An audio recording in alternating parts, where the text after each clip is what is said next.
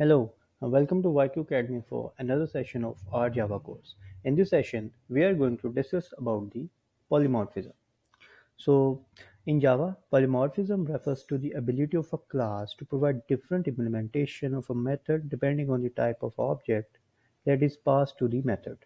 So, in simple words, polymorphism in Java allows us to perform the same action in many different ways. So uh, let's take a real life example. So uh, let's take the example of a woman. A woman can be a mother, a daughter, a sister, and a friend at the same time. She perform other behaviors in different situations. So before moving to coding, uh, let me just tell you two uh, more important points about the polymorphism. So firstly, uh, any programming languages that support polymorphism are the object-oriented programming languages.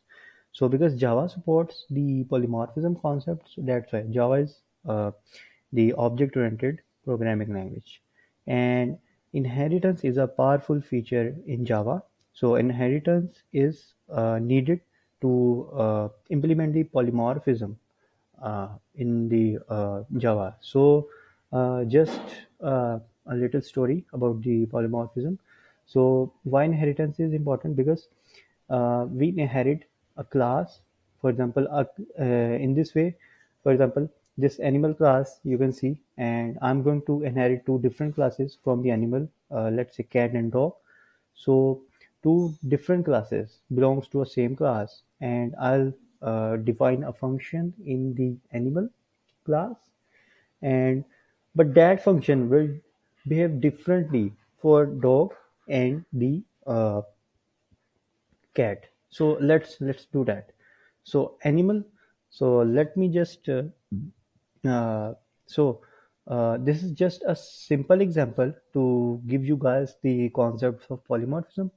So let's just make a simple function here called speak a public function called uh, speak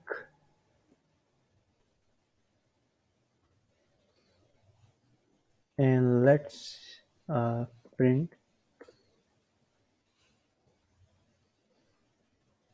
Animal uh, speak okay. so let's uh, try this. Uh, animal a new animal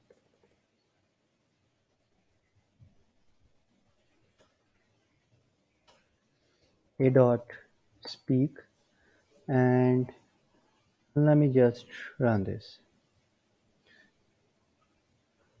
So you guys can see the speak animal is printed. So let's move uh, make two new classes and uh, uh, uh, inherit these two classes uh, from animal and that classes are going to be uh, cat and the dog classes so new class java. Dog okay. So extends um, animal. Okay. So let me define this speak function here. Let me um, public void. Speak. So this speak is function is the uh, is generally the function of animal but because now dog inherits the animal class so now this function is also for the dog. So let's print um,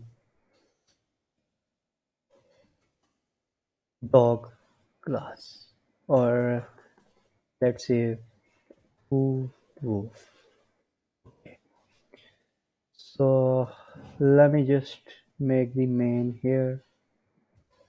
So a very interesting and the new point i'm going to show you that i will make the animal class uh, of object but i will assign the dog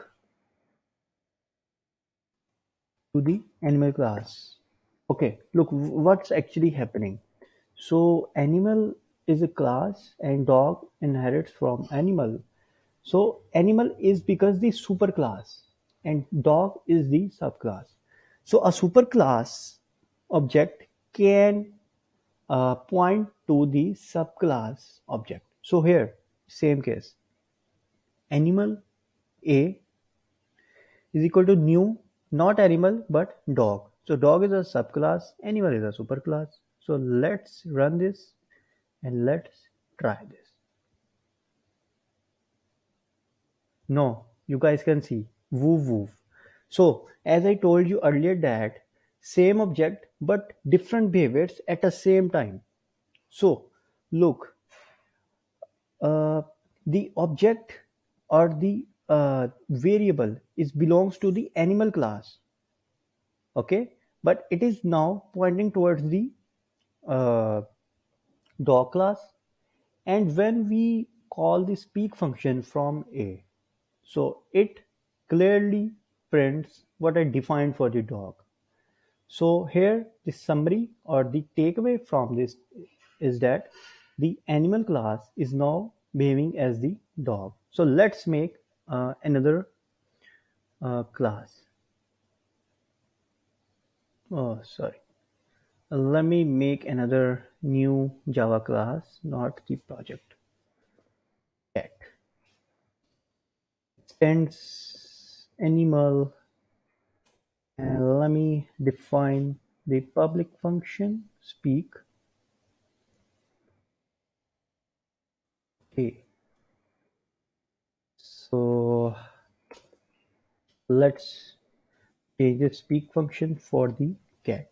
So again uh, the same or the one function uh, of animal class but behaving different for the uh, other classes that are subclasses of the animal. So let's say meow and meow. Okay because uh, let me uh, make a main function here.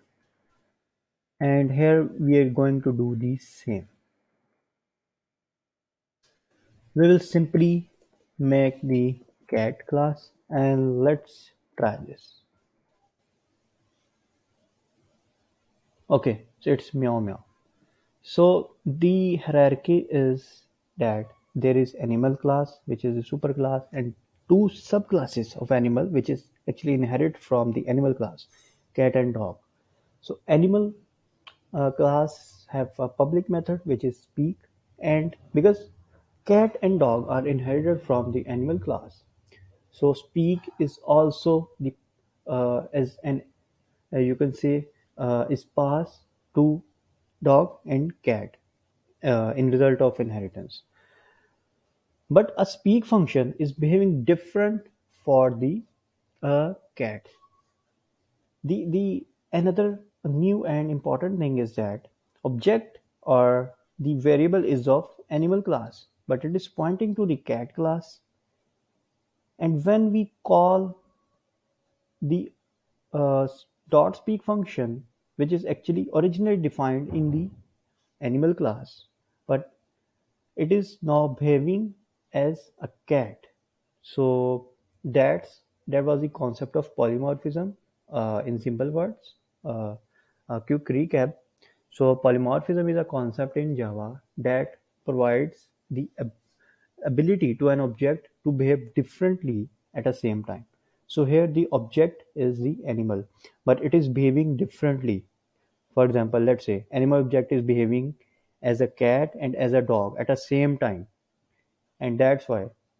You can you can see the speak function is same but it's because animal uh, object is behaving differently so speak function is also behaving differently according to the object that is passed to the animal class. So here the cat object is passed to the animal class so animal is uh, uh, behaving like the the uh, cat. Here is the dog object is passed to the animal class so animal class or animal object which is a is behaving as like the dog so that was the uh, concept of polymorphism And that was all for this session and see you guys in the next session.